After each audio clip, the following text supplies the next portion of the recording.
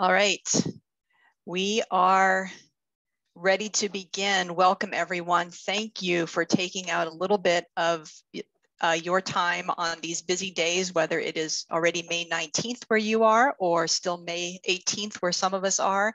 We thank you very much. My name is Diana Sinton. I'm the Executive Director of UCGIS. Uh, let me uh, advance my slide here.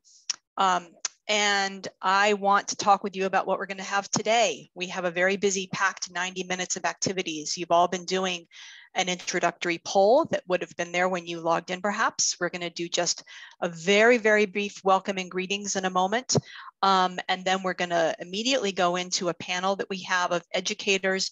Really, everybody on this Zoom call today is one educator, an educator in one form or another, but we have separated for the sake of the conversation today, the group into two, one of people who are whose primary jobs right now has to do with direct education, working with students, and another um, uh, set of people who are administrative leaders. Uh, and then if we um, are, if we manage to stay on the uh, time correctly, we'll have time for a group discussion with everybody at the end. So I just want to say um, thank you to everybody whose uh, names and faces are on this um, organizing and host screen.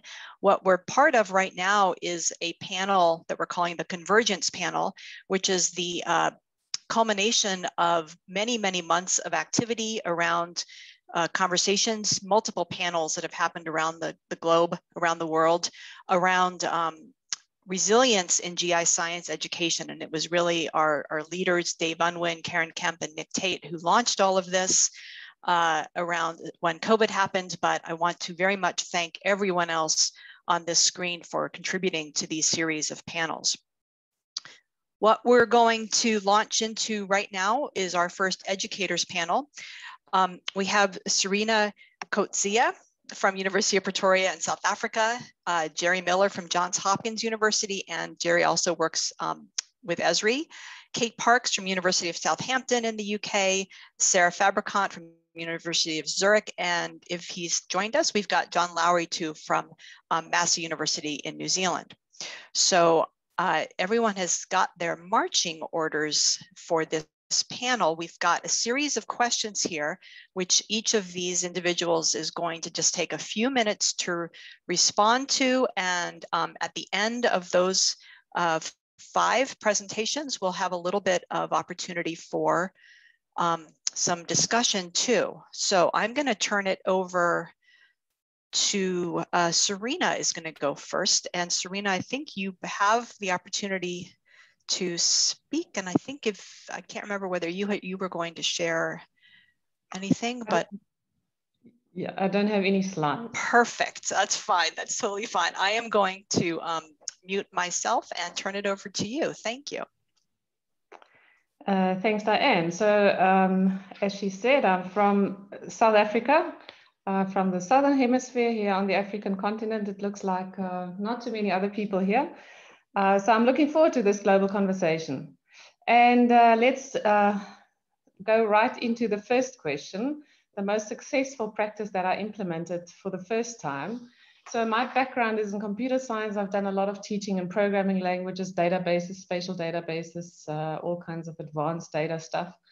And then four years ago, I also started teaching cartography. So it was a bit, it's, a, it's still a bit new to me. Uh, it's a foundational model module that we have. Uh, it uh, leads on to second and third year modules in GIS, spatial analysis, remote sensing, and geodesy. And we've got students from a wide range of uh, programs, geography, environmental science, geoinformatics, meteorology, geology, computer science also, and information systems. And uh, the things that I want to share with you is about uh, how to teach. Well, I, I had I forced myself during the lockdown to change a few things. So for me, it was an opportunity to do things that I uh, probably would have liked to have done earlier, but maybe didn't always find the time. So I think when you teach uh, cartography, there are three things. The first thing is you need to know the principles.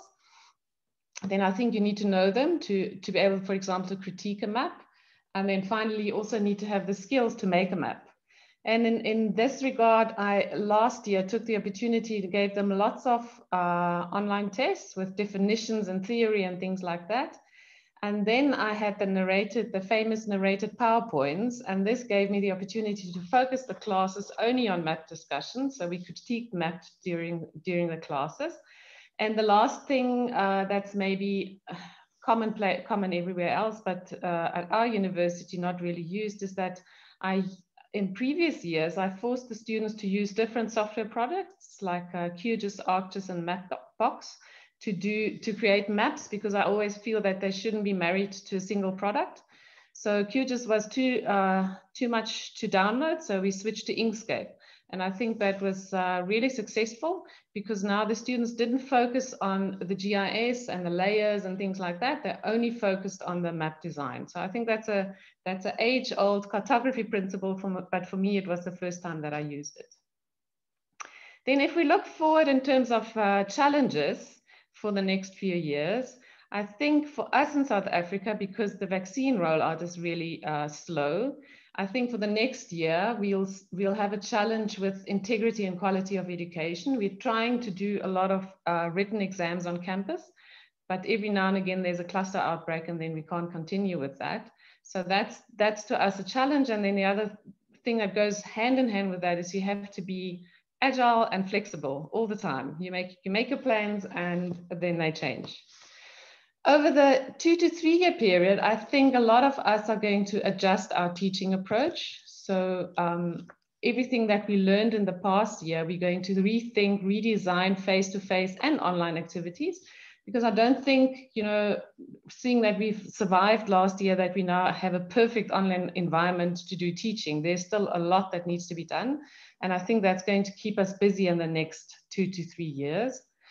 And then finally, in the longer term, I think we have two major challenges, and this may also be different, slightly different in South Africa than, than other countries.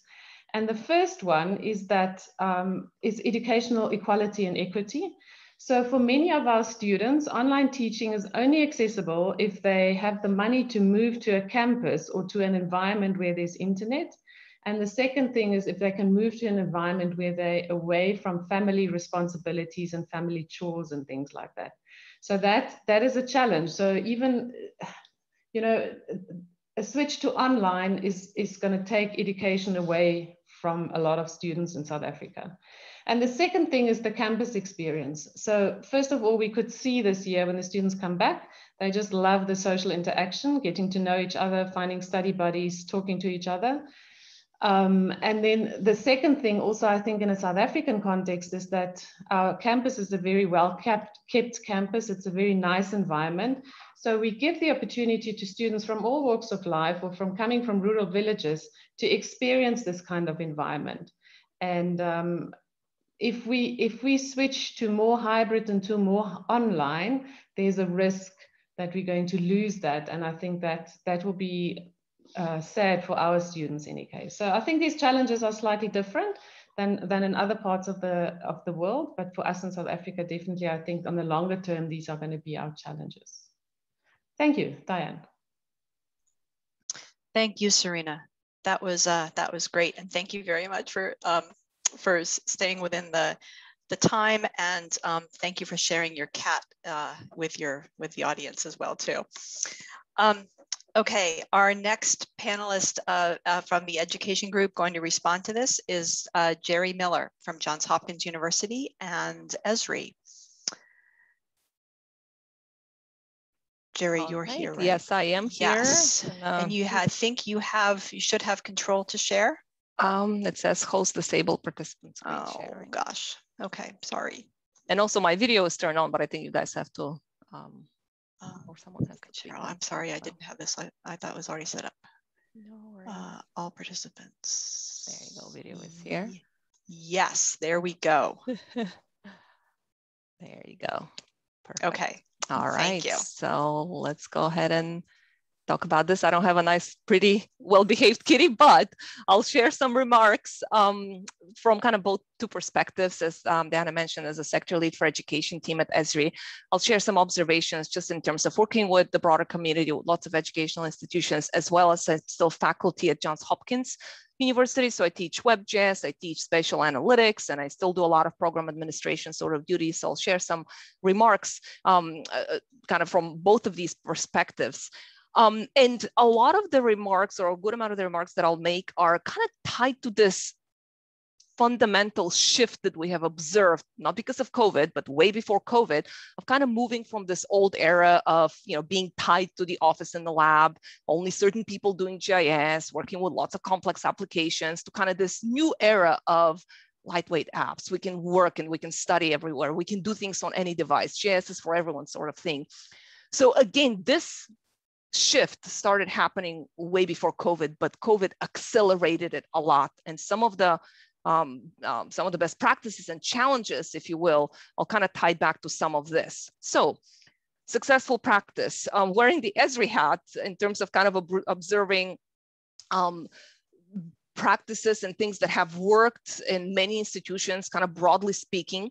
One was collaboration. So collaboration, we'll look at the campus, collaboration between different departments to kind of come together and basically work that this notion that we can't do it alone. We have to work with others um, on campus. So some examples of that, for example, working with IT offices to either provide access to technology or to GIS, uh, virtualize GIS, um, enable single sign-on to facilitate that easier access, working with instructional resource and design centers um, and those departments that serve um, the broader community to again help us transition courses from in-person to online. Again, we saw a lot of camaraderie happening for many institutions and obviously some, some it didn't, but that was a best practice. Again, notion that we can't do this alone. So we have to work with others on, across campus move to cloud. And that's kind of the, you know, what I mentioned earlier.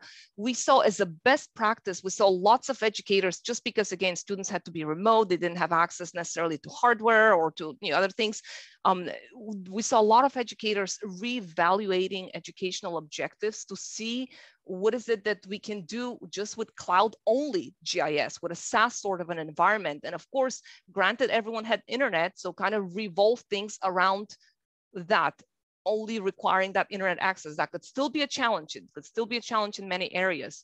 Um, but we kind of saw that shift because so much can be do can be done now just with online, right? Um, so we saw a little bit of that, and again, kind of that helps with that fundamental shift and fundamental move. So as a best practice, that was an observation. So Jade, you had as an educator, as a you know, course instructor, faculty, myself, our program has always been online. So COVID in a sense, just in terms of teaching style, teaching what we do, um, it didn't affect us as much, but the, you know, what, what we did have to do, and particularly myself, is kind of show a lot more flexibility, a lot of sort of um, extra kindness. When our students were, a lot of them were working professionals, a lot of them were juggling families, a lot of them were juggling COVID issues, whether themselves or families, little kids, um, their own working and professional environments, struggling with Zoom fatigue all along. So we had to, to, to be very, very flexible. And um, along with that, and again, have that little bit of extra kindness, but along with that, we still had to follow our academic policy policies and our academic rules as well, and just kind of maintain that balance. But fortunately, administration wise from the university, we saw lots of support in terms of COVID. But that's something that stood out sort of as a best practice all across and a lot of our faculty as well. So in terms of the challenges, um, and I won't go over short, medium, or long term, but again, sort of kind of looking at the you know, broader community things that we have seen, requests that we that have come across. Still a lot of, despite that sort of move to SaaS and anything that we can do where a student just requires internet access. Um, we we saw, still see a lot of sort of access or virtualization, or I don't have the hardware to run something sort of a challenge. And that's going to continue to probably linger and persist there for a little bit. Hopefully one day we won't have to deal with it. But um, but again, the, the, the importance of kind of minimizing some of this, it's um, a good idea to think about. Staying current as educators in this field, Um, that's, I, I think it's a challenge for everyone as an educator myself. It's again, we're so busy juggling multiple things, doing multiple things. Staying current is a true challenge. I don't think that's going to disappear, whether it's three years from now or 50 years from now, as long as we're in this field. And the, the only other thing I want to specifically call out as a challenge, again, maybe not so much tied to a specific class as an instructor. Um, it's always when we have a, you know, our own classes, it's easier to create a community and you know students network network and work with one another collaboratively but broadly speaking at a more so at a program level it's been very difficult to provide student networking opportunities um, in, in the COVID days. And even for an online program, um, it, it, was not the easiest but, easiest, but still we had events. We had other kinds of things that we can bring students together or students and alumni together and students and potential employers together, students and industry associations together. And it, it, it has been very, very difficult. And I do foresee that as a kind of a lingering remaining challenge as long as this virtual world continues to persist and we live in, in it um, that we can be doing much better when it comes to some of these networking opportunities. So with that, hopefully um, I am within my allotted five minutes. I'll stop sharing and I'll um, send it back over to you, Diana. Thank you very much. I'm gonna um, bring up my screen again with the slides here. Uh, there we go. Excellent. All right, Jerry, thank you. Thank you. Our next presenter in our educators panel is going to be Kate Parks from University of Southampton. Hello, Kate. Hello, and I found the button, so that's always good. Um, so it was really interesting listening to other people speak. Um, I wondered whether they'd seen my notes because I think a lot of what I'm going to say is what the, the previous two have all, have just um, have just said. So starting off with question one, the most successful practice that I implemented, um, and again I think this is something I think it was Serena mentioned it's it's something I'd been meaning to do for a very long time. Um, I could see the benefits of it, but I really didn't have the push to, to do it. And that's to sort of take more of a flipped approach to my teaching, um, which I always took to mean you give the students stuff to do first, and then in the sort of interactive sessions, you discuss what they've done. Um, I'm not sure whether from the poll people have a slightly different definition of that. Um, so doing that was something which, yeah, I meant to do for a long time, and COVID gave me the, the kick that I needed in order to actually make that change. And it, it went really well. Um, I think I possibly went overboard. And I think this is something that a lot of my colleagues across many disciplines have found. We gave students too much um, and they were overwhelmed. So I think I would rein myself in a bit next year or maybe give the same amount for the, but make it clearer. Uh, must do, could do, uh, must do, should do, could do kind of thing. Um, the other thing that I've taken on has been again something I should have done. I've been aware of for ages, but haven't had the the push to, to adopt it has just been really simple use of kind of the interactive technologies to get feedback on how students are, are progressing um, and any queries. So using things like a Microsoft form or Google form um, or um, the, the Padlet or something like that, just to get anonymous feedback on common queries. Um, I also set up a, a Teams site um, and used that to kind of collate queries, have discussions with students, and that worked um, worked really well. Um, in terms of the challenges, again, this was this is probably very repetitive from the previous two people. Um, the I think in the short term, we're going to need to be agile in our teaching. So um, I was talking with colleagues earlier today, and we were focusing on fieldwork um, rather than uh, GIS specifically. Um, and I think we're going to need to have activities that need the face-to-face -face component. And when we can do that, we do that and not be um, constrained by oh well that's timetabled for week eight therefore we do it in week eight. If if the circumstances arise that we can run a field trip or run a practical lab um, we do it. How that works operationally i don't know. I think that's a bigger challenge. Um, a further short-term challenge particularly in the uk where i'm based students have had so school students have had their education massively disrupted um, and they ended up not uh, sitting their final exams for their A levels.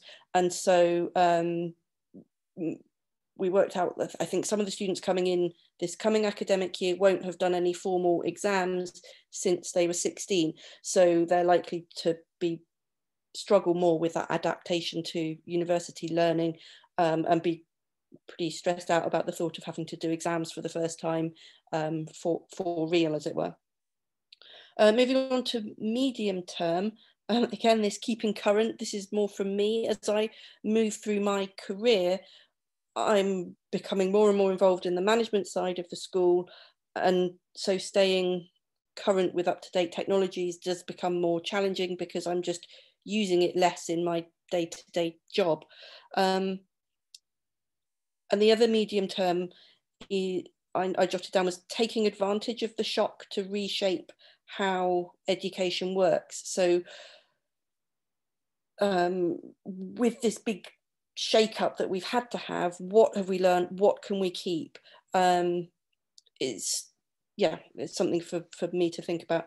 Um, long-term challenges, again, picking up on something I think it was Serena said, something that student all the feedback that we've had from students has been that they want in-person teaching but it doesn't seem to be that they want the, the teaching they want the social activities so i'm wondering whether campuses um, and southampton is a campus-based university it sounds similar to the pretoria setup where we have a lovely campus but whether that becomes more of a social hub and then the teaching remains more online. So the difference between, say, a fully online course and a in-person course is more that wider university experience. Um, I don't know.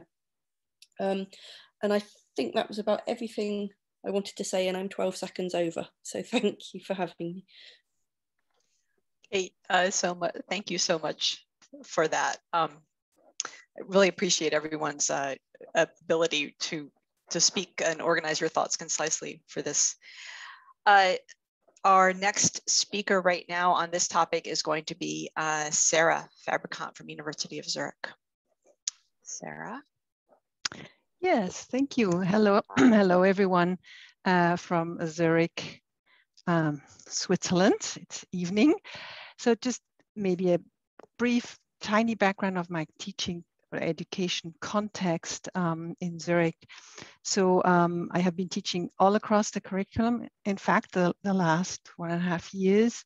So starting with second semester undergraduate, very large classroom, uh, to a cohort of interdisciplinary PhD students all across the disciplines in at Zurich University in a specialized excellence program, as well as everything in between you can imagine. And um, I also have had a chance to teach at two different types of schools, a Research One University, University of Zurich, but also um, at the School of Applied Science in Zurich and, and in different disciplines, one in cognitive psychology and, and one in my home disciplines, geography, GI science. So just to, to give you a background.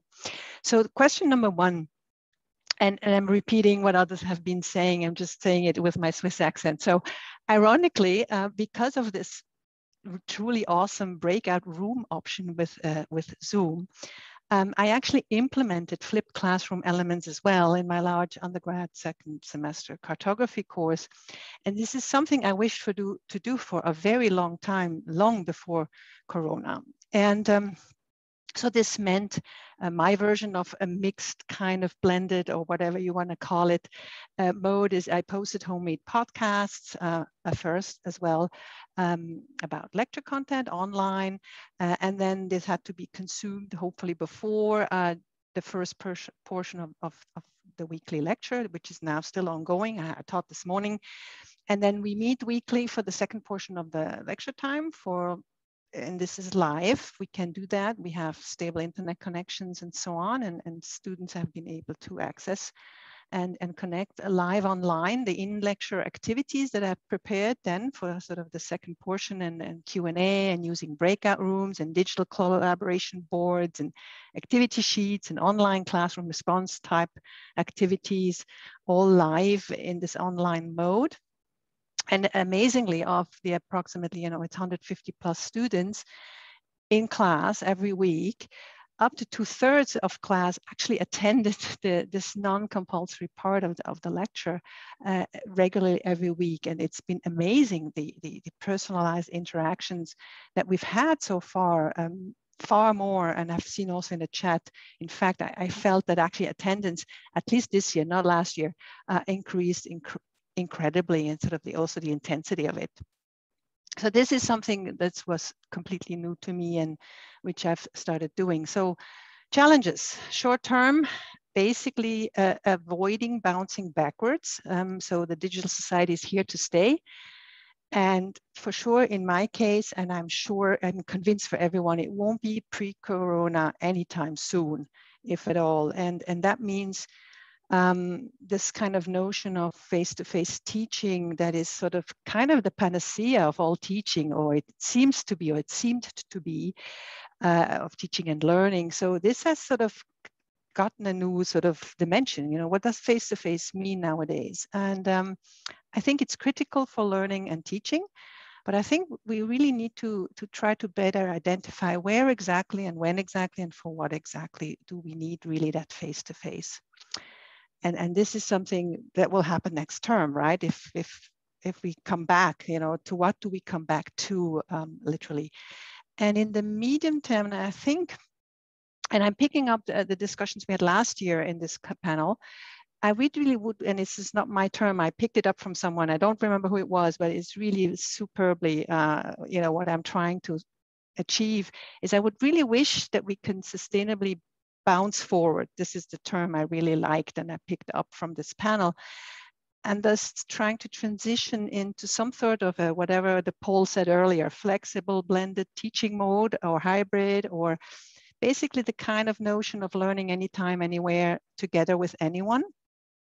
So that uh, I think Gary, you mentioned it, you know, you know, these flexible digital tools that are small and in my pocket and maybe large at some sort or stable at a, at a desk. And so the question is, so how can we effectively and efficiently merge these kind of best of the both digital leap that we just took, online, asynchronous, synchronous, collaborative, and so on, with this pre-corona face-to-face notion of on-site brick and mortar school type of teaching world. So what kind of teaching mode needs to be done where, when, with whom, and for what learning goals is, is my, my key challenge here. It is clear to me really that um, I need to further my teaching skills and competencies to fit that new world, uh, to do this effectively. And finally, uh, long term, I think really what's, uh, you know, our university, just give an example, is about to build, rebuild, extend, or reduce, you know, most of its infrastructure. So this is long time planning um, based on a pre-corona plan. And so um, I really don't think that we need what they planned then. Uh, now, as it seems, right? We need less of that. We need more something of an infrastructure, meaning even space, like literal, you know, like rooms to go to that that that must fit this new hybrid mode. Um, it has to be a different format. It has to be something new and it, it needs to be done uh, now already. So my question is, what will my real world teaching space look like and, and what kind of time will I have available to align um, all this with, with this new blended teaching mode of the future. Finally, um, I think that, you know, there was a best practice question also that maybe also leads to the next panel. Um, I think, uh, and we talked about this earlier, good teaching is good teaching regardless um, so I think the flexibility and openness to change, um, smiling, empathy, kindness, you know, will go a very, very long way, you know, in, in even in so-called this distant digital online teaching mode, which I have realized and happened to me this year. So whatever it is, I think we need to also think about as hefty portion of these social skills and competencies um, for, for empathy and so on, for, for leadership in, in education and elsewhere, um, especially in, in, as we see this increasing digital society. Um, that is actually trying to be inclusive and, and not widening that gap uh, of these social uh, and digital uh, domains that, that are opening up now uh, even more. Thank you. Thank Back you. to you, Diana. Thank you. Thank you, Sarah. Um, and right, and then Sarah was referencing there a, a, comment that we had from a panel back in the summer, fall of last year, the idea of resiliency. Um, one way to think about resiliency, which may be uh, better for all of us, is uh, is to bounce forward from from the experience. Um, let's right now uh, jump to our bounce to our final panelist in this um, session right now, uh, John Lowry from New Zealand. And then at the end of uh, John's presentation, we will have uh, a, a, few minutes for some group discussion. And I, I haven't been looking at the chat, but I, I, am going to trust our chat moderators to pull out a, a, couple of questions we might have time for. So John, if, if you are there, the floor is yours. I'm here. Um, so I thought that I'd share an experience with you with regards to um, the first question. Um, it was during lockdown last year, or just as lockdown started, um, I needed to make a decision about the content of the course. And so instead of having a midterm test, I um, modified a small project to be a bigger project that would be done in lieu of the test. And the project basically involved um, having the students do a VGI project, a volunteer geographic information project. Um, they had learned how to use Survey 123. They learned about the, co the concept of VGI. They learned about creating story maps. Um, essentially what I wanted them to do was to pair up into teams of two and uh, to create a survey, implement it to anybody in the world, um, and then then tell their story of what they learned from the data. So um, a lot of it was put onto them as to how they would make their teams. So I'm going to use terms that are used in Moodle for some of these ways that I had them do this, but it, any learning management system I would imagine has similar activities. So I had them use a discussion tool to, to form their partnerships. And essentially I said, use the discussion to put out an idea you have for a project. And if you don't have a, an idea for a project, say, um, I don't have an idea, but I'm a good partner. Let's form up, let's, let's form a partnership. Then in a choice tool, they identified their team, their partner. Um, then um, later on in the semester, so it became a full uh, half semester project, they would share their story map with the class, with the wiki. And at the very end, they gave feedback to us instructors on um, how they got along as a team and essentially how the project went. And um, it went really well. Um, and I was really impressed uh, with how they got excited about it early on. They formed their own teams, they came up with their own ideas. And at the end, the feedback was great. Um, so I said, let's do this again this year. And so we're doing it this year. And um, I found that this year there wasn't quite the enthusiasm for, for doing it like they did last year. Um, it took them a while longer to form their teams. And in fact, at some point I needed to prod them to, to pick their partners and I had to actually partner some people up. And I was trying to think about why that was. And, and I think it had a lot to do with the fact that this particular project last year occurred right as New Zealand was going into lockdown. And so there was this feeling of unity that particularly our prime minister here in New Zealand uh, uh, tried to emphasize. And uh, in fact, she used a term, uh, a Maori term, kia kaha, which means be strong. And so I was at first attributing the, the difference between last year and this year to this uh, kia kaha, this be strong um, idea where the students uh, wanted to work together uh, more than they, they did this year.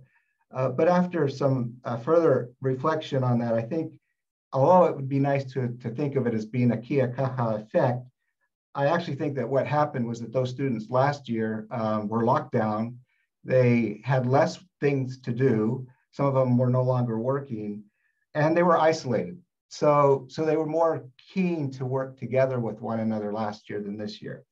And the, the, the, the semester is still going this year, so I haven't gotten feedback yet on how well the students liked the project um, this year. But I do know that they, they were less um, quick to, to form teams and work together. Um, so one of the things I think that I learned from that is, first of all, I think it's a good, good activity. I'm going to continue doing it. But students have their own lives. And, um, and so they've got other things going. And so we, we, we know that, and we always need to be um, cognizant of that in our teaching. So that's the, that's the first question. Um, the second question uh, with regards to the challenges in the next few years uh, really is in line with what some of the previous speakers have talked about. Um, the, one of the challenges I face is that I teach, uh, I am required to teach a distance cohort of students and an internal or face-to-face uh, cohort of students. And I'm so, and I need to use the same learning management um, stream site or, or Moodle site for both. Um, and I need to make sure that there's parity. So essentially the two, the two cohorts need to be taught the same things in the same way and have the same assessments. Um, so what that does is that what it does is it makes the internal group become really more of a blended um, uh, type teaching. And uh, because there's so much online content that I've already got, um, you know, created for the distance students. And so the challenge I think that I'm going to face, and I think that uh, has been hinted at, is what exactly is blended or hybrid, and how do we make it work? Um, because uh, as some of other uh, uh, some of the other panelists have talked about, Kate said that the students want to come to campus to socialize, but um, not necessarily to get the teaching. So if you make the if you make the course blended, you put more online content there. What I'm finding is the students don't necessarily want to come to class, right? How do we? How is it that we're going to uh, encourage them to come to class? I, I definitely think that um, there can be good learning and teaching in both um, a distance mode and what from now on is going to be a blended mode. We're not going to go back to just plain face to face. So with blended, we need to think about how we're going to um, encourage them to take advantage of any real face-to-face interaction if indeed that's what um, uh, our teaching mode uh, requires.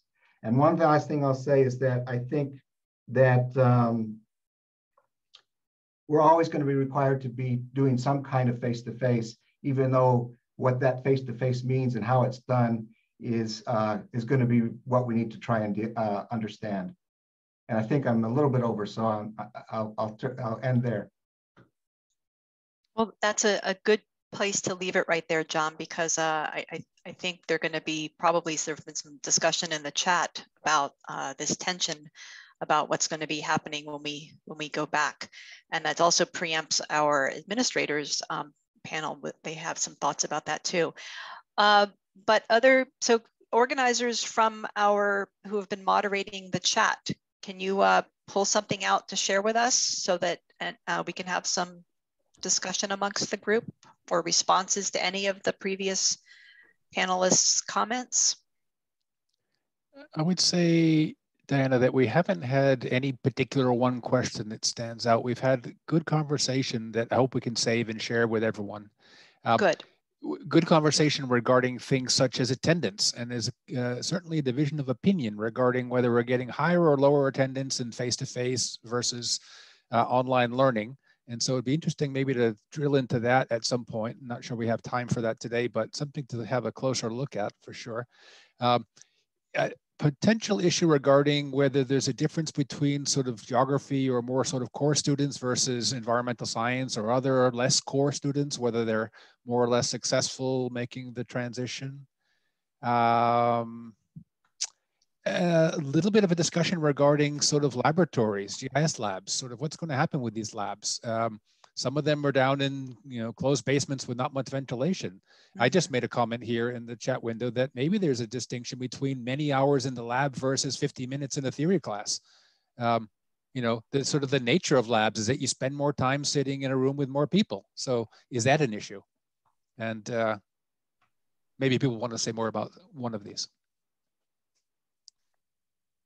Uh, any comments from any of our panelists about those observations?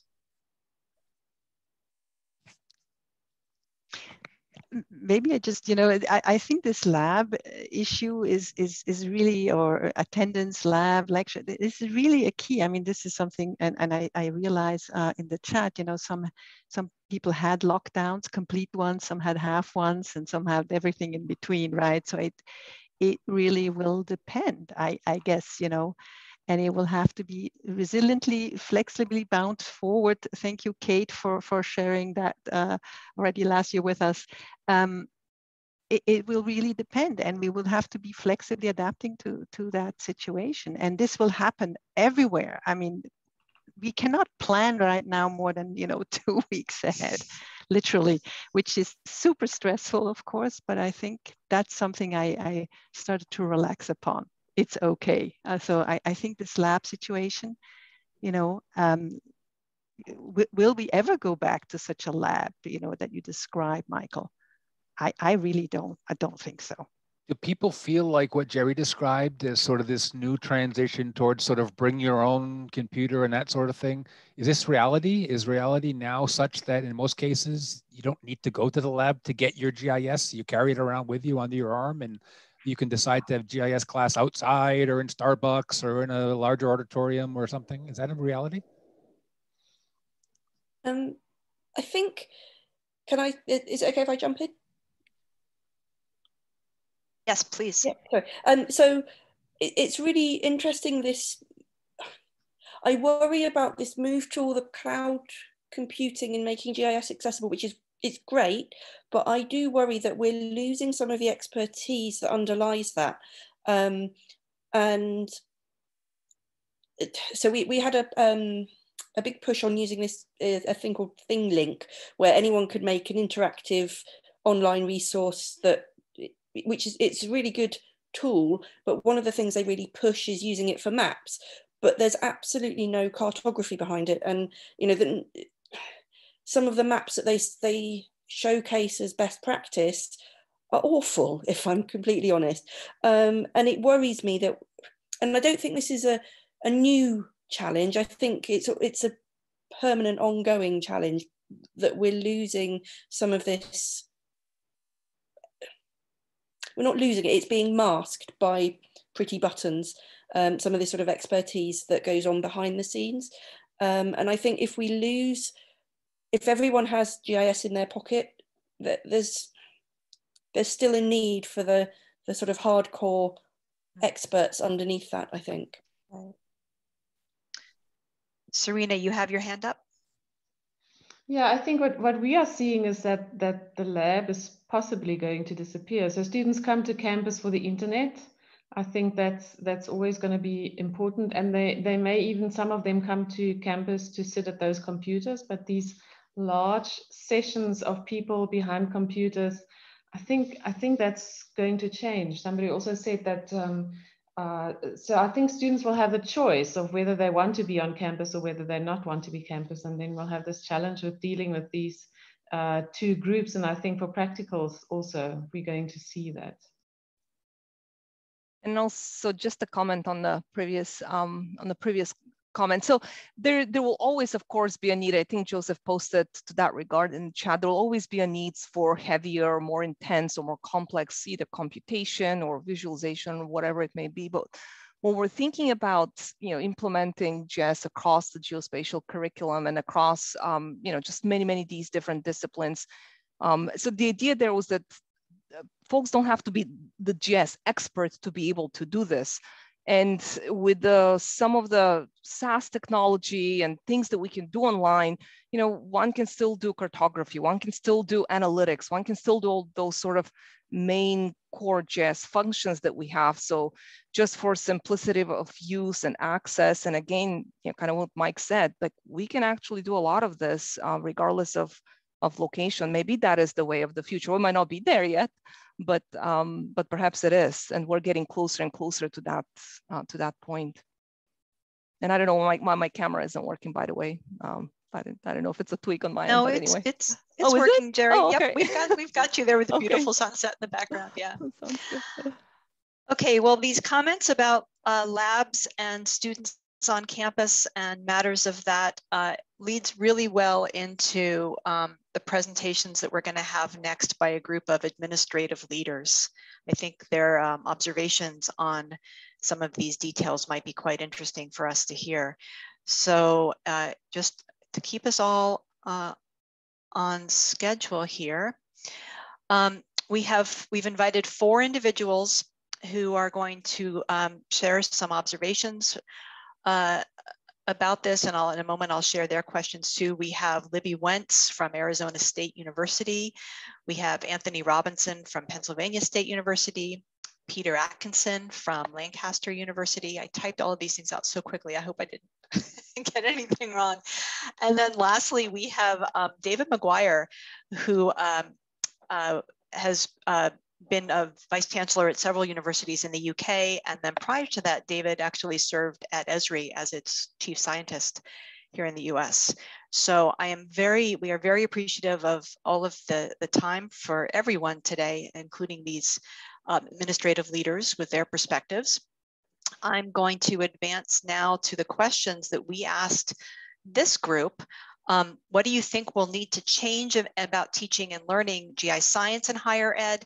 And our organizational uh, team was also very interested in how people with these perspectives that we've asked, how they think that might be different from any other digital technologies that are um, uh, an issue in higher education right now. So with that, I would love to invite Libby Wentz to, um, to speak to the group.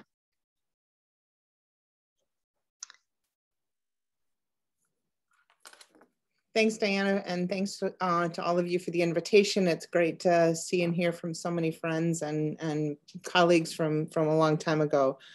Um, the first comment that I want to make is just an observation on the time zone. Being here in Arizona, I'm kind of in the middle of the time zones and it's merely two o'clock in the afternoon. So the timing couldn't be more perfect for someone like me. I don't have to be up early or, or up late. So I'm grateful for all of you for being at the edges of your, of your workday.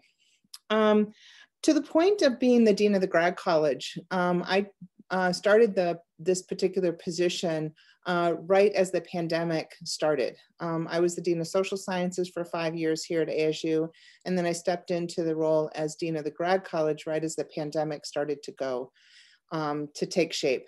And the first question that was asked to me from the provost office was, you know, what is what do the graduate students need going forward? Um, you know, and of course, this is across the university. I have engineering students, I have business students, I have students in the health sciences, as well as the students across the liberal arts and sciences.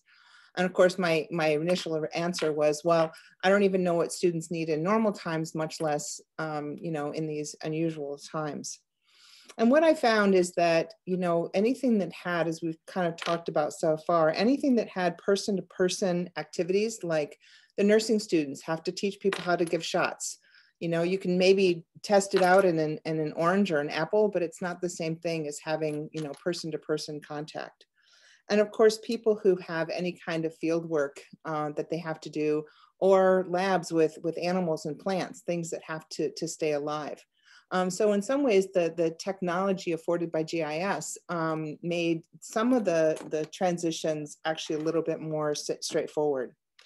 But what, really came out in those early conversations is that, and, and this is one piece that I haven't heard uh, anybody mention here, um, although I think it's been implied, is really thinking about the health and well-being of the students, um, as well as health and well-being of the faculty. Um, and that's something from an administrative point of view that we all need to be mindful of as we start thinking about our changes and learning GIS in higher education. So how does, you know, how important are the social, do we recreate different kinds of social opportunities, which I've heard mentioned um, a couple of times. Um, as well as the well-being of the faculty. Um, you know, we've got people who are who are much more isolated, um, and also thinking about um, you know individuals who have home responsibilities such as children and and education opportunities at home, and all of those have had an impact on, on people's ability to be effective in teaching. And I think Serena said it early on in terms of the access to the technology, and I saw a lot of it in the chat as well. I mean, we had some of our GIS students trying to do GIS on their phones. Um, no internet access, uh, no real computers, and our library system started to send out uh, laptop computers to people, uh, trying to make sure that people had um, access to it. Um, the, the, the next point that I want to make um, is about resilience. I really love the, the title of this. I don't know who came up with this, and I think it's absolutely fantastic in terms of how we think about being resilient. Um, there's a book called Judith uh, that Judith Rodin wrote um, called uh, Resilience Dividends, and she really emphasizes the points around dividends.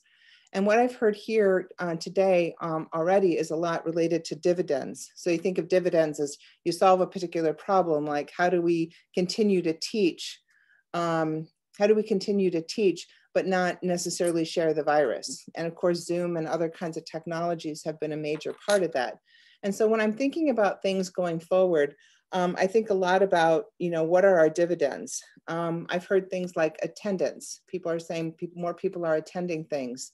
Um, I've heard that a lot with respect to um, office hours. Students are coming to office hours that they might not have. I've also seen that the negative side of the attendance is that they log in, they turn their cameras off and they don't completely pay attention. So we need to think about, you know, of course, students fell asleep in the back of the classroom before anyway. Um, but you know, just because that you're there doesn't mean that you're necessarily paying attention um, or or being engaged. Um, but some of the other dividends, and I love the the chat, which of course when I'm talking I can't really pay attention uh, to the chat. But I think the chat is a function that I don't know how we get back to. I mean, do you pass notes back and forth um, in the classroom? You don't really do that. That's kind of more of the private chat piece. But the chat really provides that um, engagement that you that you don't really have in the in the classroom in a different kind of way. Um, and the other piece that I've heard people planning to um, continue to do is having guest lectures uh, synchronously join a class, being able to have somebody you know, you know, bringing Sarah uh, from Switzerland into to one of my lectures to do a guest lecture. Um, it would be a great way to sort of bring in sort of expertise and connections for your students that you wouldn't necessarily have. And I've heard a lot of people saying that they want to um, continue to do that. The last thing that I think is really important, um, we're in an era of, of maybe more, it feels like more um, extreme problem solving. Um, and I so believe in GIS as a, as a tool for really um, having the ability to bring data to light, um, see problems in unique ways, being able to see gaps in knowledge and gaps in services um, in ways. The pandemic, of course, is one pretty significant challenge that I know GIS has been so important into solving. But we also have, you know, climate change, social justice, um, economic development, inequality, all sorts of other problems and so I think that while other subject areas are also really critical in solving these, I think GIS is really um, important in, in doing so. So anyway, those are my, my few remarks that kind of wove around those two questions that I hope have provided some insights. So thanks for including me in this today. Thank you, Libby. Thank you for that.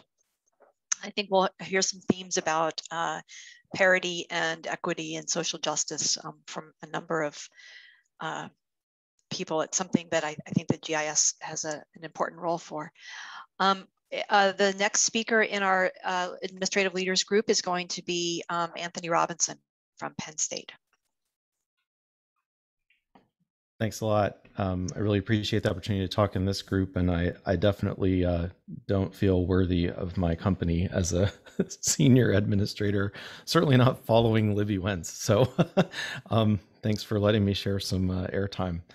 Uh, I speak about what I speak about today in the context of my work as director of our online programs in geography at Penn State. So we serve about 800 adult learners every year and teach about 100 course offerings across geospatial sciences and technology at the graduate level. Um, so a lot of it comes from that from that context. Uh, thinking about this prompt here about what we'll need to change about teaching and learning and higher ed and GI science going forward, I think one thing that it's brought to light uh, in my experience here has been, been that research intensive universities like Penn State um, really need to continue to invest in and value expertise in teaching with technology.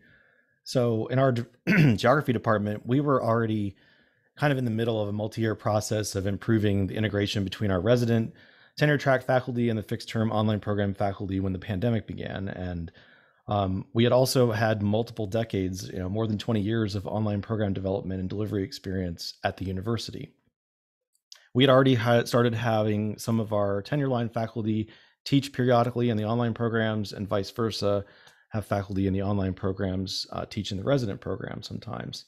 I think this set us up pretty well as a department, uh, at least in terms of the GI science side of things, uh, to be quite resilient. Um, having people that were familiar with multiple modes of engagement already certainly didn't hurt. I think more specifically concerning GI science going forward, um, one of the things I think administratively we need to do better with is develop the structure and policy in our departments and colleges to ensure that we can really attract, retain, and sustain the careers of expert practitioner faculty. I've heard multiple people already mention this need for uh, staying current, and this is really hard to do. I think relying on research focused tenure track faculty to remain at the cutting edge of application, uh, teaching the most recent API um, in the latest LMS is not a great fit. Um, and we already have outstanding colleagues who are teaching oriented. Um, our students are going to need a combination of both research and applied skills, and we really need to invest as much in the latter as we do in the former. Um, I think what that looks like uh, requires shaping some tracks outside of the tenure line that are really worth pursuing. Um, we've definitely made some progress here at Penn State with with how promotion works in our fixed term uh, ranks. There's now changing the way this is even called. It will now be called something different in the next couple months. Um, but there is still a need to figure out career paths that are um, equally uh, attractive and beneficial to retaining practitioner faculty um, treating I think half of our colleagues, it's at least half of them in my case in the college, as though they're temporary is not only inaccurate but it's self-defeating. When it comes to what I think is different that, um, about GI science than other subject areas um, and other dig- digital technologies, I think one thing that I've noticed, at least inside of Penn State, is that there's much broader recognition now that engagement with spatial technology and methods matters. Um, I think this is now salient to a lot of people in administration that it wasn't before. Uh, for example, um, just the notion that geospatial tech and infrastructure has the power to kind of glue together a lot of disparate information. Um, an example of that would be the effort to rapidly develop contact tracing and testing on campus. All of that revealed this sudden need to coordinate spatial data across the institution in new ways. Um, I think I'm hoping, and I think it will become more common for the role of something like a chief geospatial officer to emerge within university administrations. And I think that role will probably be tasked to figure out this spatial glue. Um, and uh, some of the people who are in the audience on this call have already participated in writing about sort of the spatially enabled campus uh, looking forward. And I think maybe we didn't anticipate that the pandemic might actually usher that onward a little bit faster and more intensely. Um, one example of how that might pan out in the near term might be studying the airflow in cl- classroom buildings and uh, comparing that to national and local trends in student incidence and vaccination rates. Um, an interesting spatial problem that emerged early on was the attempt to model the incidents at where students were located off campus before they came back to campus in the fall. So it was a really uh, distinct spatial and temporal analysis question that suddenly had the attraction of the president of the university. so um, that's an example, and I, I, look forward to the non-pandemic examples that um, uh, will come up in the future where there are some interesting spatial synergies to take advantage of. Thanks. Thank you, Anthony. Thank you for those comments. Uh, to progress along, our next um, administrative leader that we're going to hear from is uh, Peter Atkinson. Peter? Hi, can you see me? Yes, we can. Thank very you. Very good. Well, thanks very much to um, Professor David Unwin for the invitation, and it's my pleasure to join you. Uh, this is a very hard set of questions. Um, I'm the Executive Dean of the Faculty of Science and Technology at Lancaster University, and I do a bit of research in the background. Uh, and I was previously a professor at Southampton for 21 years. I can give three uh, personal thoughts from a research project and research student perspective, which might be a little bit different to the uh, conversation earlier, but it's um, there's a lot of overlap uh, in what I'm about to say. But if I have time, I'll also tell you a bit about how Lancaster responded to the uh, pandemic. So my first thought is about coding uh, generally, And as I say, it's a slightly different perspective than others. My perspective is really uh, centered on geostatistics and the R uh, programming language. I started using S Plus in Bristol in 1990, which was 31 years ago, and I switched to R when that started. And R has been open and community-based from the start. The environment is easy to download and install. It's very flexible, etc. And more recently, a whole host of packages and environments are open and free to download, such as Python, uh, environments like Keras and TensorFlow, etc. And remarkably, I find that PhD and project students are really well able to navigate through what is essentially a very complex uh, coding ecosystem uh, using Google as their friend, should I say that? Uh, and all of this was true pre-COVID and it continued uh, as previously through the pandemic. So I actually don't see uh, from this particular perspective that much has changed or needed to change. And in a sense, what this shows is that the GI science coding world was already resilient. Uh, and what's been happening in terms of collaboration virtually, which is actually quite interesting, is the use of virtual labs. But again, this was already happening pre-COVID. So in summary, that's my first point. Um, I'm noting that geoscience, GI science coding ecosystem is resilient. And that's basically a similar point that was made by Jerry Miller and others earlier. So what's really different and bad, however, is the isolation that research students may be feeling. I don't think I've done anywhere near enough as a supervisor to mitigate that problem. I mean, um, being holed up in your flat in the middle of Lancaster or whatever, ad infinitum, disconnected from your parents uh, and family with uh, no possibility of connection, no flights. Uh, they may be in another country, in one case for one of my PhD students in the USA. Uh, uh, and through all of that, you're supposed to carry the burden and risk of a PhD or a research project in GI science it's really, really tough. I mean, really tough. We're all social animals. We just couldn't function without others. Uh, and so the way that I'm thinking about this is that study and research are just a brilliant thing. And, you know, it's, you know, it's, for me, it's fantastic, really, study and research. But they can be thought of as the top of a hierarchy of needs and a privilege. Uh, but I've always believed and encouraged students that you've got to sort out the lower, lower levels like your own health and security and love and belonging first. And, and that's such an important point. So while digital innovation is great, and I'm sure that we will bounce forwards, uh, let's remember how each individual may be feeling. Um, and love and belonging, interestingly, is that sort of middle level in, in Maslow's hierarchy of needs. Uh, so that's my second point, basically. Great learning isn't going to make you happy unless the lower levels are sorted out first. Uh, and, and social interaction is such an important part of that. Um, and then my third point is that COVID-19 uh, showed that it can be done. And, and, what's happened there is that our limiting assumptions have been removed.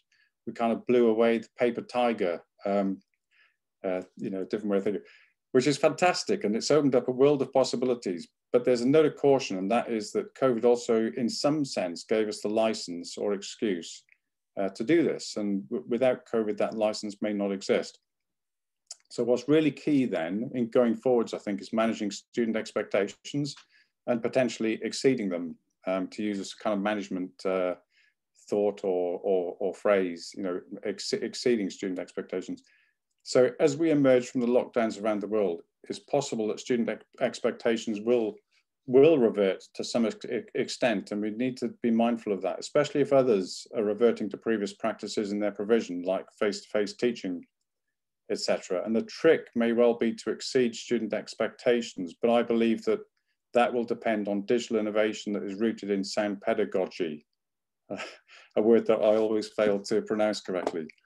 But the, the, the, basic point there is that student, students know when they've got it. You know, when they get the concept, they know.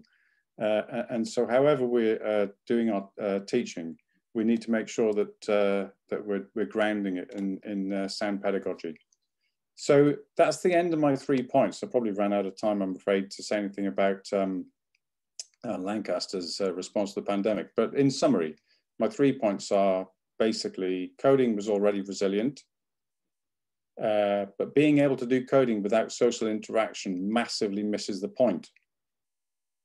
Uh, and that while the space of possibility has been opened up by COVID, what's likely to happen in the future will depend on managing, meeting, or even exceeding student expectations based on sound pedagogy. Thank you. Thank you. Thank you for those thoughts, Peter. Um, I, I, think for at this moment, uh, we will pot, we will put a hold on that uh, Lancaster um, COVID story. Uh, we want to get to David, but let's let's see how we uh, how we do with time because I think we will have time for um, a number of uh, conversations towards the end. Our final speaker in this set is uh, is David Maguire. David. Thank you, Diane, and uh, hello everybody. Very nice to see some old friends and to meet some new ones. Uh, as you know, in a a long time ago in a galaxy far, far away, I used to be a, a, GI scientist and do GI teaching. Subsequent to that, I've done a number of other things.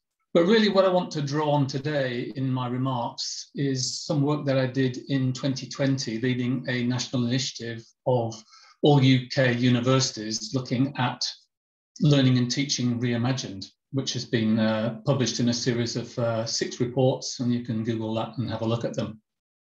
So I want to make five key points really about how I think much has already changed in the way that we teach in universities, including GI science.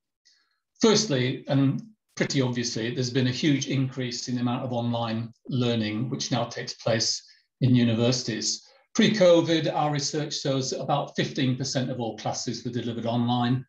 During 2020, it was something like 65% of all classes and about 90% of lectures in the UK. Most university leaders believe that that will settle down at around 50% in 2021, 22 and, and beyond. So lots already happening and everybody's saying that, it's, that the change is here to stay. We will not go back to a predominance of in-person learning anytime in the near future. Second point to make is that people's much, much more important than technology. Um, if I've learned one thing about leading universities, it's exactly that. And here I'd like to draw on uh, Lawrence Stenhouse's imperative in a really good book, where he said that curriculum development must rest on teacher development. Curriculum development must rest on teacher development. People are much, much more important than technology, and without investing in people, making sure they've got the adequate necessary skills, you won't innovate in your teaching. In our survey of university leaders, the top barriers to online use in universities were number one, staff confidence, two, organizational culture, three, negative perceptions among students and staff, and only then do we get on uh, skills limited funds and access uh, to hardware. So people are really important. A third point that we covered is that equity is really, really important in the way that we teach online, and it has differential, differential impacts on different types of students. And as uh, more than one speaker have already said today, differential impact potentially on the staff, the faculty as well. And in the UK, a term digital poverty has arisen. If you want a definition of that, uh, Google the Office for Students uh, and Michael Barber uh, and a paper a report called Gravity Assist, where they define it, I think, uh, quite nicely. And essentially, it's saying that uh, poorer people from uh, minority ethnic backgrounds typically have poor access to technology and find it more difficult to create the necessary surrounding environment in which to study uh, successfully. But what's interesting is there's a huge concern for this and a huge effort to try and mitigate the worst impacts of that on students and staff.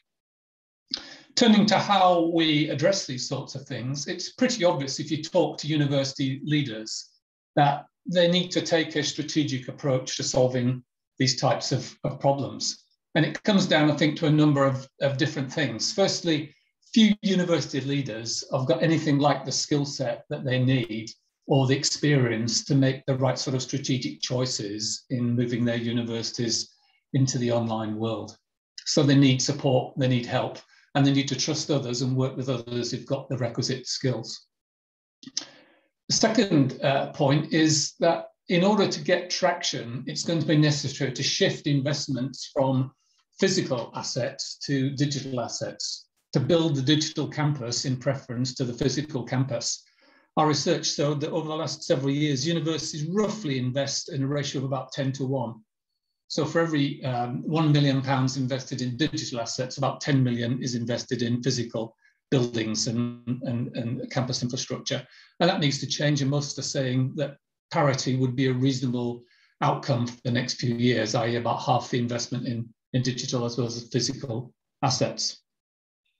And it's pretty obvious also that we need to redesign uh, programs of, of, study and to think about digital first rather than migrating from in-person to, to online learning. The final point I want to make in, in, in, this section here is that there is a huge digital, digital dividend in prospect if we're able to harness these significant developments. You can move teaching out to address a much wider audience and attract a different group of, of people and make higher education, I think, much more successful. Um, had I more time, I could talk about a few other things, but I'm conscious that my five minutes is up and I'll hand back to you then. Thank you. Thank you, David. I, um, I, I, I think like others, I too was uh, taking notes during all of these presentations. I hope um, that some of this has been uh, well, we'll be capturing this in a number of different ways. Um, uh, we have just a, a, minute or so. Is anything from our chat moderators? Was anything uh, from the chat? Anyone want to pull up anything that any of these administrator leaders, administrative leaders might reflect on? Or we can also shift. I haven't been watching the chat at all. I think uh, one of the big things, uh, conversations that have been going on is this need for um, uh, teaching uh, faculty and improving their role and making it more equal in the university. Uh, there's a lot of discussions going on about that. So, okay, uh, yeah, um, obviously with teaching becoming so important and with the, the conversations that have happened, uh, yeah, that's that's a clear one. Uh, not many questions, but mainly comments about that. There were a couple threads that I heard from a few speakers. Uh, uh, the idea about having there be um, these the career paths for expert faculty um, the expertise that many people bring to uh, teaching GIS is very different from the expertise that may be needed um, both with um, kind of modern and future geospatial technologies, um, but also the types of, uh, you know, being that expert at digital teaching itself um, versus the, the more familiar thing that um, a whole generation of people would have experienced. And the curriculum development must rest, rest on teacher development. So that's those are those are um, connected themes. Yeah, I think that's a very, very important theme. And it links to what people were chatting about earlier. The students seem to have adapted to figure out how to use back channels and other sort of technical ways to keep in touch and to collaborate and do that sort of thing. And then, you know, we just heard that apparently in the UK, at least according to these studies, uh, there's some some need for upskilling on the faculty side to get them sort of up to speed with these new ways of working. Right. Uh, rest assured, everyone, we will also be sharing links to the different um, reports that have been uh, referenced and mentioned and the different resources, um, uh, books and authors that have been mentioned by our speakers. We'll make sure we pull that together to share with the group as well. Um, well, uh, magically we're on time. so I am going to shift to what we had set up as uh, a question for questions for the whole group. Um, uh, important lessons about uh, best practice or leadership in teaching. Um, are old best practices still the best? Are new best practices emerging? And I think uh, I think anyone, this is really for any of any of the, the speakers, any of the panelists that are here with us still from any of the panels. Um, uh, so I'll, I'll leave it at, at, at that right now. If someone would like, I can, I only, I can't even see everybody. We have such a large group right now. I can't see the thing. So if you'd um, like to raise your hand or if you have an observation about this, Anthony, I see your your camera's on. Yeah, um, I had a an answer I wrote down for this, so um, and I think it's something different that we haven't talked about yet. I feel like a, an important lesson from the past year that that's um, kind of brought something into light for us anyway was that this diversification of our academic programs to include a really sizable range of online offerings proved to be a pretty major asset during this particular crisis because we had learning designers and we had a cadre of faculty who were ready to do this kind of stuff.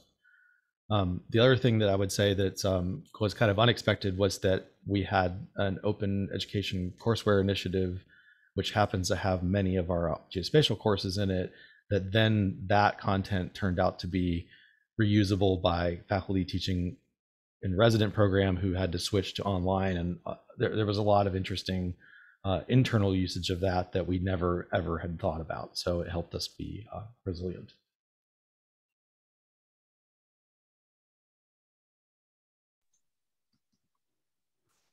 Comments or observations about Anthony, uh, what Anthony has just shared or any other about this? I also had a had a uh, answer to that question. Can I share that? Yes, um, please.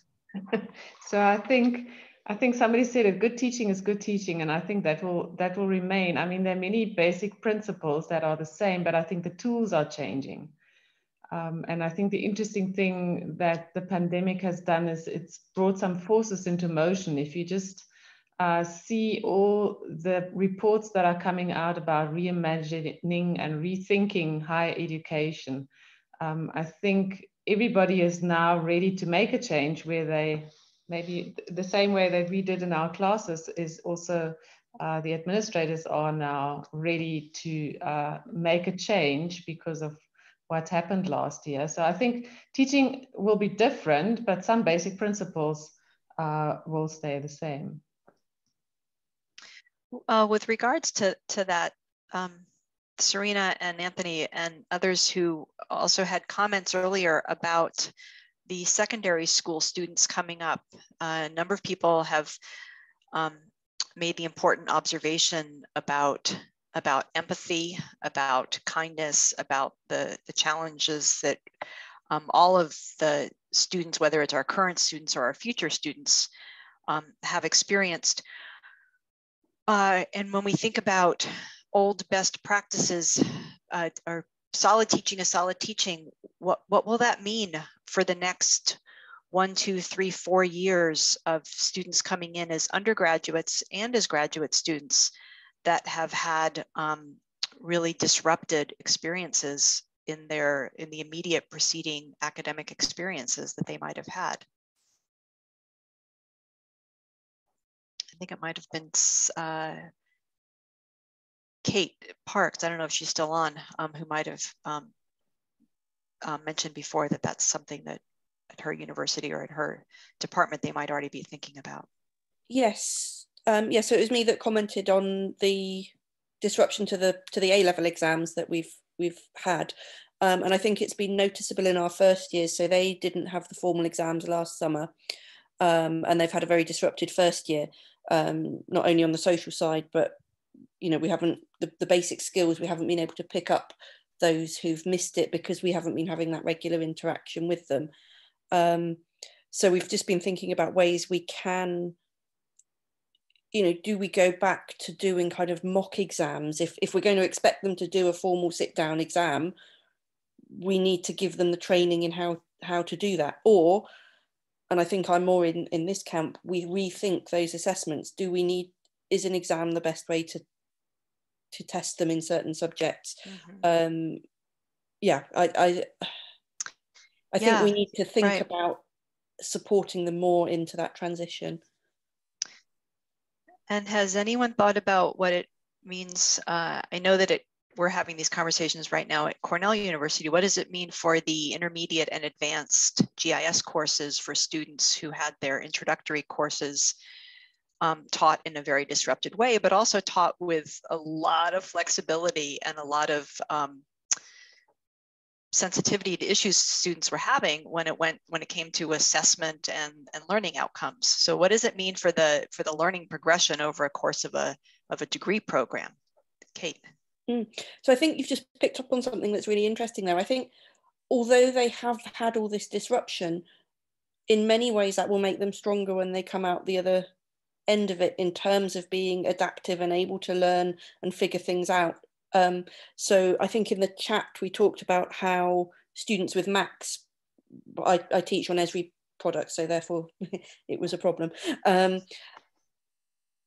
they had to adapt. They had to learn how to remote desktop in, and they're not necessarily techie students. They're on environmental science courses. They want to go and be conservationists. They don't. Mm.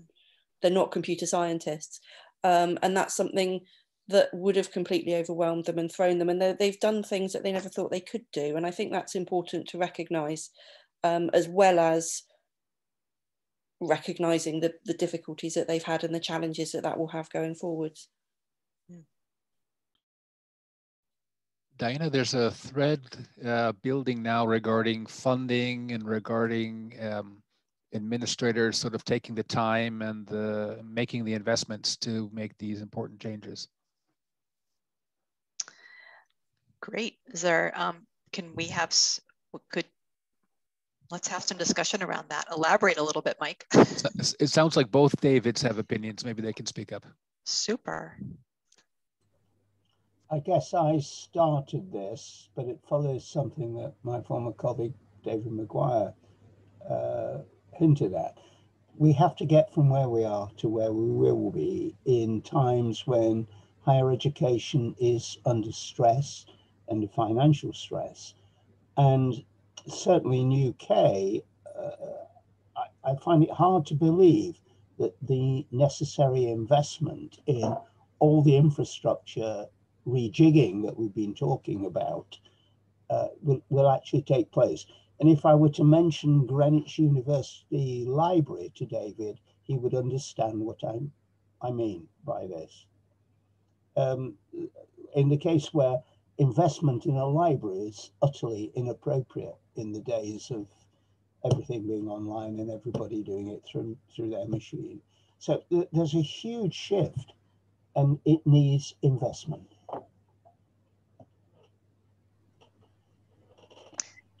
If uh, infrastructure investment of all different types, infrastructure, yeah. human resources. I, I don't see where, to put it crudely, I don't see where the money comes from and that was Dave Unwin, who was uh, just yeah, wrong Dave, yeah, making those comments. So is there a reply from David Maguire? Is he still on?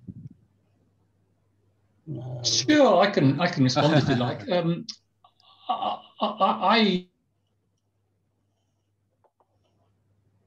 Across the, the globe it's always possible. Universities invest um, tens of millions of pounds a year in different things, so it's an opportunity cost. It's a question of choices.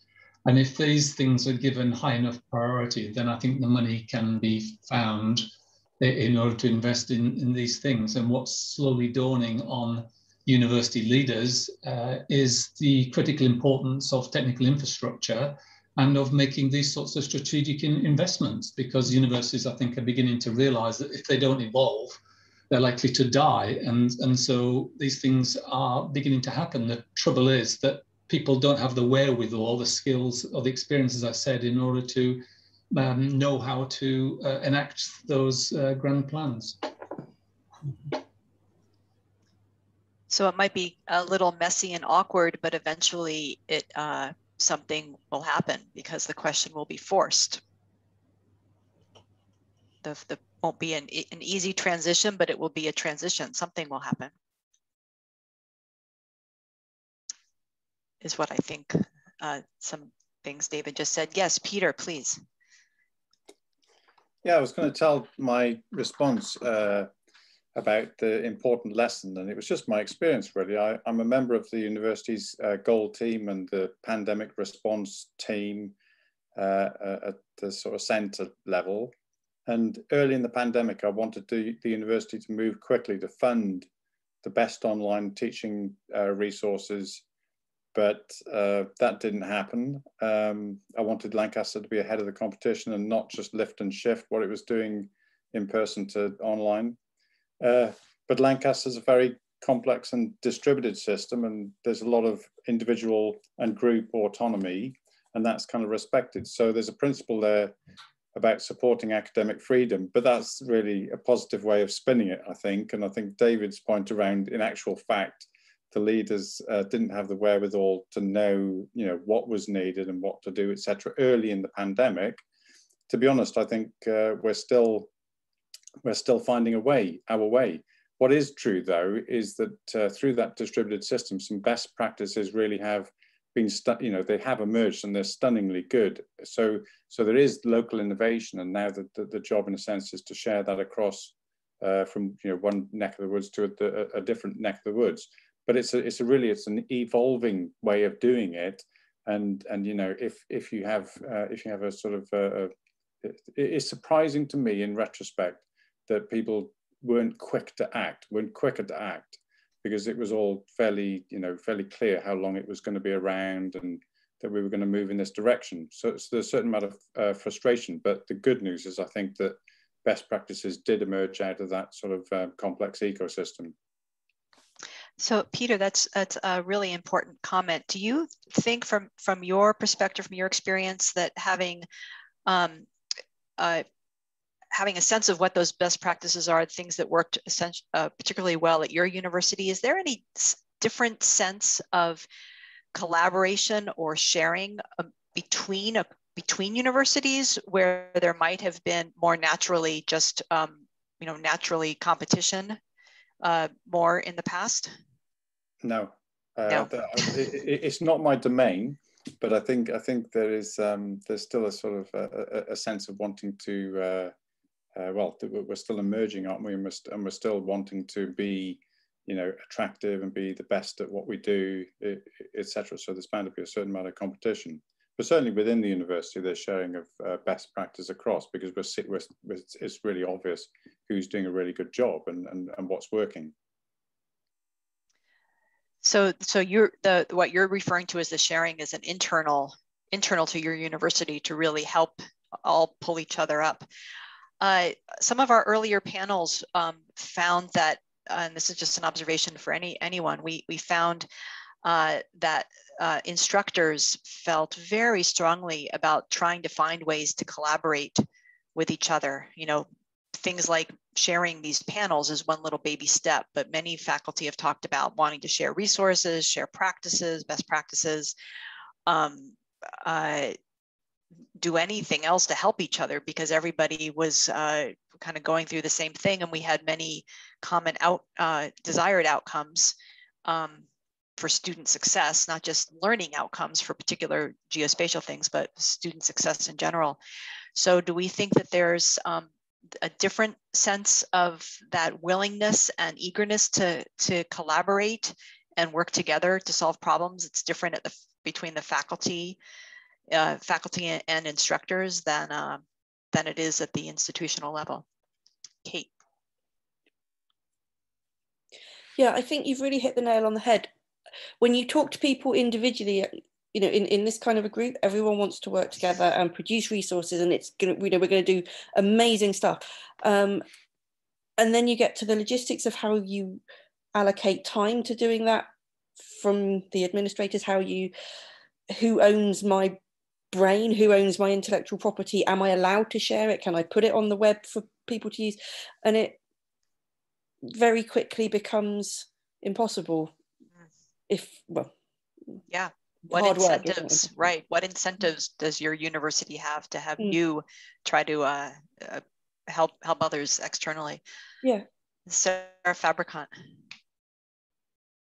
uh, yeah, thank you uh, for, for again these very stimulating inputs uh, all along. And that's like having, you know, probably like my students uh, following the chat, looking at the lecture and the discussion. Um, but um, I wanted to just also put in a little bit of a positive note, uh, maybe contradicting a little bit Kate's comments.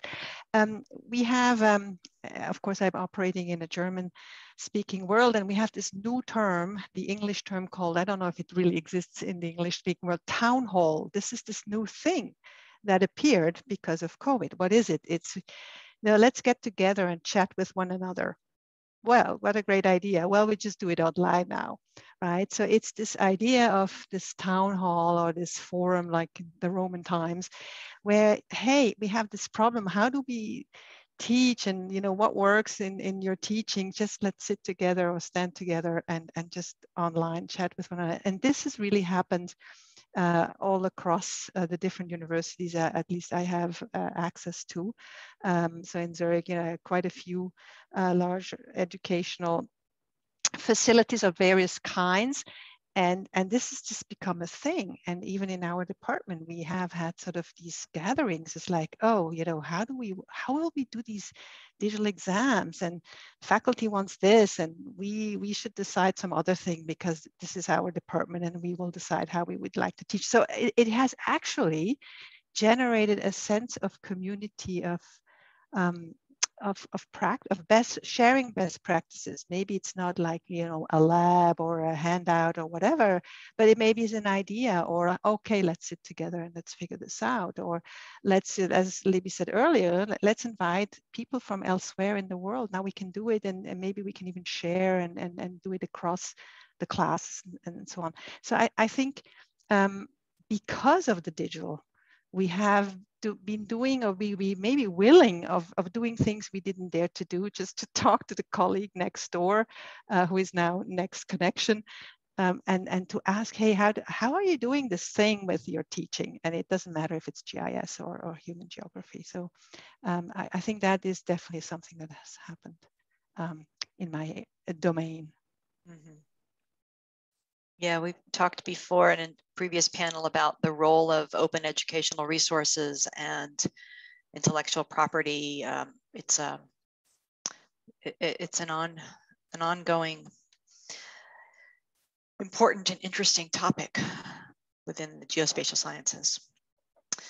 Okay, we're coming to the, it's the bottom of the hour around the world.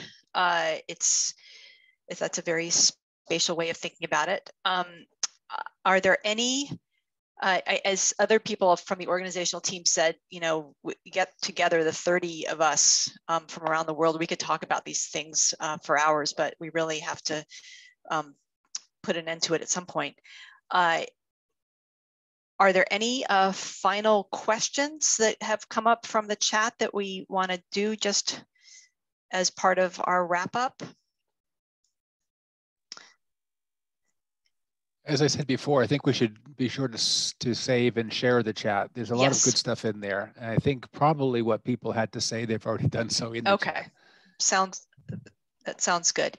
There mm-hmm. I, we put together one final poll, which is just to get a, a pulse of the group's ideas about um, their uh, interest in continuing some of these conversations. Um, uh, you know, in person, whatever, whatever in person might mean in the future. Um, uh, in 22 or 23, we realize it might be a little bit of time, but there are a number of us um, really committed to uh, working on these things uh, as part of our careers, not, not just a, a passing. I don't know if you guys can see this on my screen, but this is pretty exciting. I'm seeing the results live come back, and there's uh, more people say yes than others, and there are yet there's yet to say anybody who does not want to uh, um, uh, emphatically or categorically say uh, no, not interested in this topic going forward. We are not seeing the results, but I think yeah. that, I think when you save the recording, you'll also yeah. be saving the results, and you can yeah, it, it will. And Forrest, our technical manager, Forrest Bullock, in the background, uh, has knows how to do all of these things just the right way. Just uh, okay.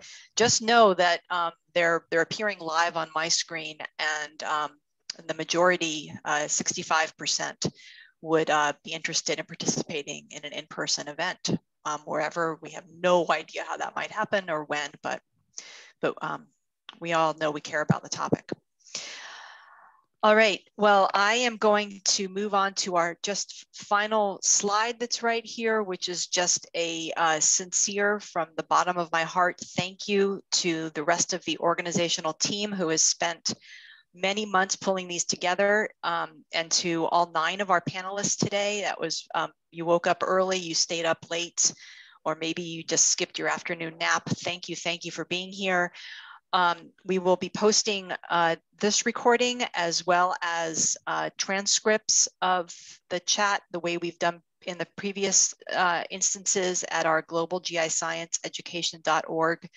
website. And again, just um, I'm going to sign off now, but I really want to thank everyone for being part of this today and for contributing your your ideas, your time, your energy, and and your thoughts. Thank you, everyone, very much. Thank you, Diana. Thank you, Dana. All right. And Thank everybody. Thank you, Diana. Thank you, Diana. Thank you, everybody. Bye, Bye everyone. Bye bye. Stay healthy. You too. Bye. Thank you. Some people need to go to sleep now. Yep. Oh, really? no, let's start our day. No, no, no, the people in New Zealand and Australia who I feel the most sorry That's for. right. That would be uh, married in New York. All right. It's happy it's happy hour in New York. I'll see everyone later. All right. Bye, Thank everyone. you.